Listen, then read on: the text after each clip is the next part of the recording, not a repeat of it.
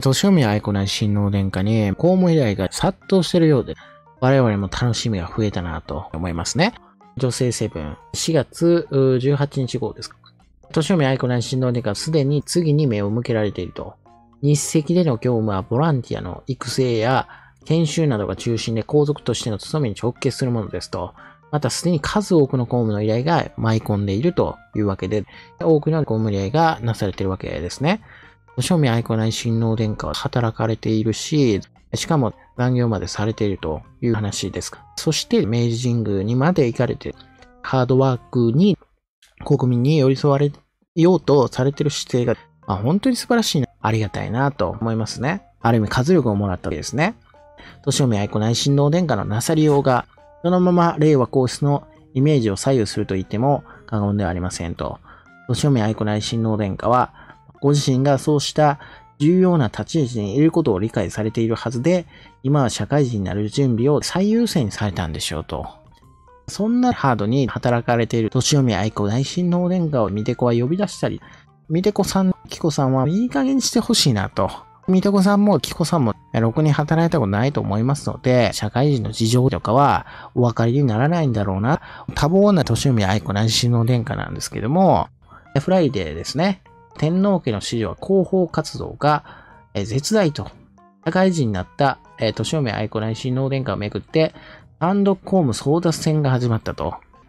敬宮愛子内親王殿下は、日赤で月13万円で働かれていると。えー、記事がいろいろありましたけども、ですからお金ではないですよね。当然ですけど、年の宮愛子内親王殿下の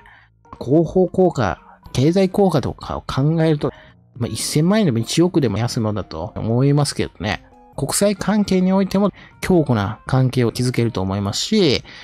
例えばね、英国に行かれたとします。英国の皆さんは、まあ、日本を好きになられるでしょう。そしたら、日本企業も英国に進出しやすいし、日本の製品が売れたり、絶大な効果をもたらすと思います。そもそも天皇家とか、年読愛子内親王殿下の外交が最強なんですよね。そういった効果は計り知れないものがあります。文化交流においてもそうだし、いろんな面で大きな効果をもたらすわけですね。それを赤十字でこんだけハードワークに働かれて月13万円でやられている点が本当に立派だな。過去さんなんて中身ない公務行って多分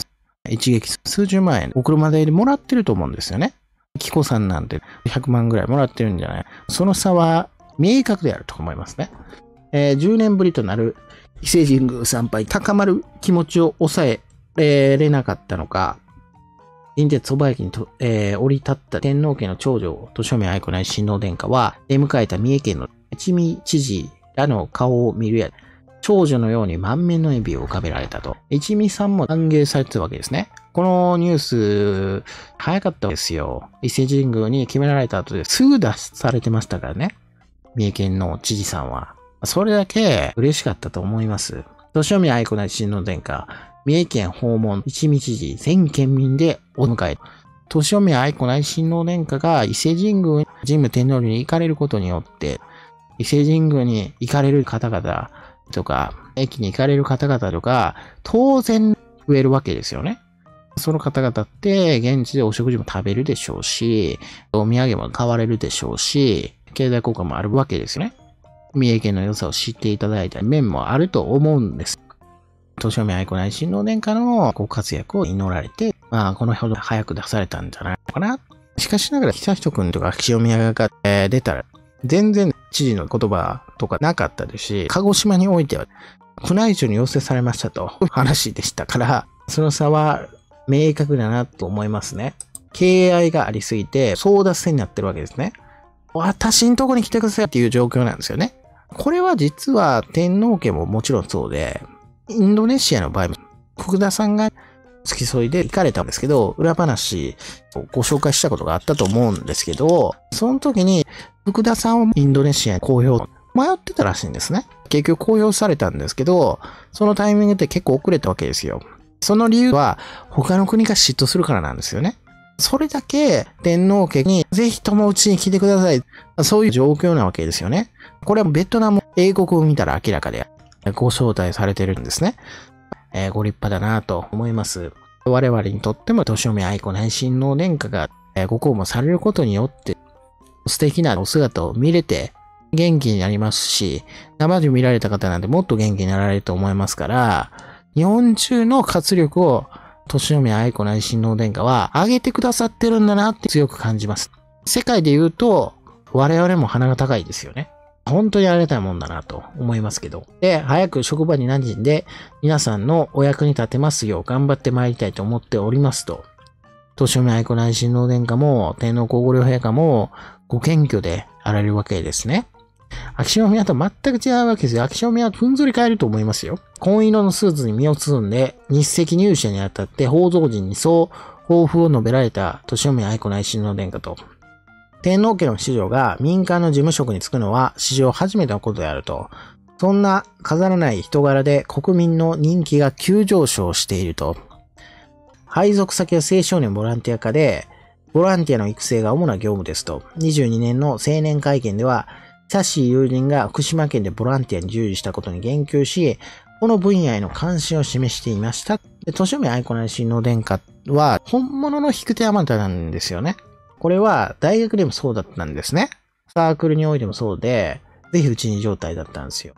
5月の授業開始と同日にサークル活動も再開となるんですけど、大学内の様々なサークルが、ぜひとも、年を見愛子内親王殿下に入会していただきたい。そのように考えておられるようです。そうなるとサークルの方も活気が出ますし、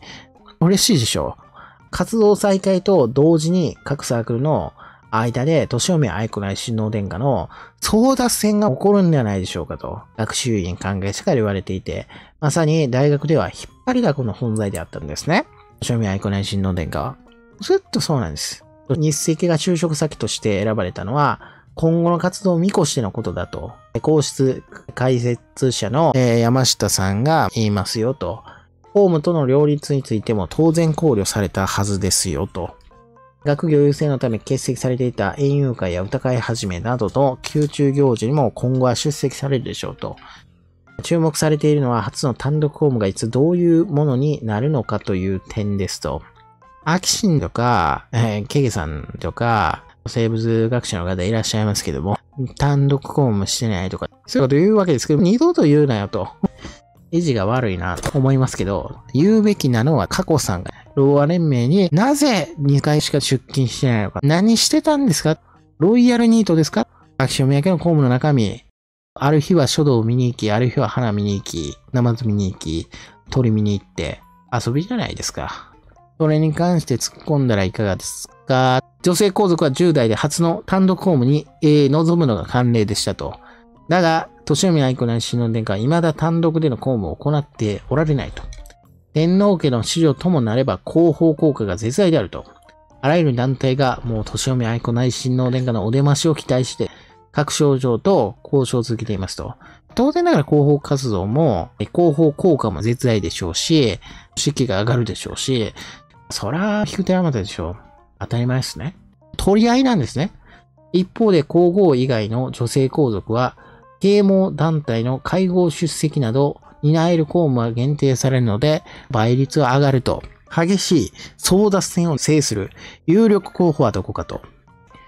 年見愛子内親王年間のご立派なお姿がいっぱい見れる月がこれからやってくると。5月もそうだろうし、6月もそうだろうし。楽しみですね、皆さんね。4月23園遊会ですよ。あ、めっちゃ楽しみじゃないですか。激しい争奪戦を制する有力候補はどこかと、4月になって嬉しいことばっかりじゃないですか。ご名愛子内親王殿下においては、前室の山下氏が続けると、幼少期から保護犬と暮らしてこられたこともあるんでしょうが、年名愛子内親王殿下は、青年の記者会見で働く動物たちに心惹かれるものがあるとおっしゃいましたと。盲導犬やセラピー犬などに関する施設や行事が有力だと考えられますと。年を見愛子内親王殿下がどんな選択をしたとしても、明るさと白深さは多くの国民に伝わるはずであると。年を見愛子内親王殿下、これからもご立派に活躍されていくんだろうなと思います。まあ、一方で、ちっちゃいとくんとか、秋篠宮さんは自ら公務を作り出してるわけですよね。えー、旅行ですよね。これですね。自然史を学べる大学への進学を希望されている斎藤君を秋篠宮が誘われて、春休みを利用して視察が実現したってありますけど、秋篠宮の希望なんですよね。玉川大学行ったのも。オープンキャンパスに行ってるわけですよ。これが秋篠宮流公務なんですね。このために警備費用が使われて、えー、大学のリソース、報道のリソースが使われて、こんな茶番はいい加減にしようかなって思いますけどね。鹿児島の県も宮内庁から要請があったそうですし、求められてないんだろうなと思います。それは世界中からも当然ながら言えて、ギリシャから本当に各さんに招待があったんですか？英国から招待なかったですよね。ペルーからの招待も経済協力との機会じゃないんですか？ペルーの大統領は今不安定な状態ですから、そういった面で、まあ、各さんと連携することによって経済協力を引っ張り出したり、そういう下心がないと秋篠宮家とは絡んでもらえないという状態になってるんだろうなと思いますね。悲しいことですね。以上です。それでは皆様ご一緒に地下室お疲れ様でした。ありがとうございました。じゃあね、バイバイ、さよなら。